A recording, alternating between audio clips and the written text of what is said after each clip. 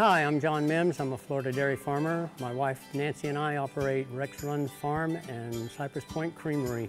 We're located about 15 miles east of the city of Gainesville and home of the Gators. And we milk a herd of Jersey cows and make cheese and bottled milk. I'm a fourth generation dairy farmer. And as you can probably guess, I'm the cheesemaker. We make a Gouda cheese, which is this one.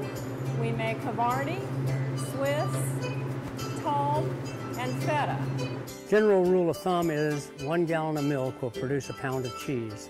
With the Jersey cows, they produce a higher solids, not fat, and more proteins in their milk, which means that they would yield, uh, for 10 gallons of milk, we would get 14 pounds of cheese.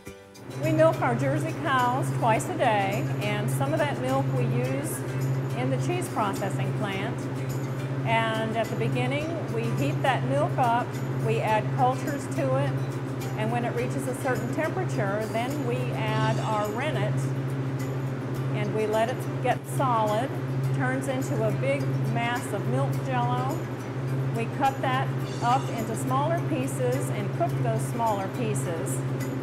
And when we're finished, we put that into a mold, and that gets pressed and when we're finished with that, it turns into this chunk of cheese. This is about a nine or 10 pound wheel of Gouda cheese.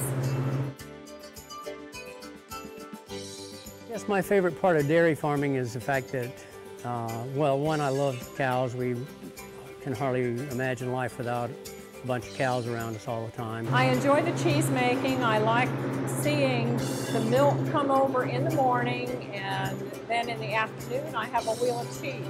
It's an interesting process and it's hard to imagine that that can all happen in one day.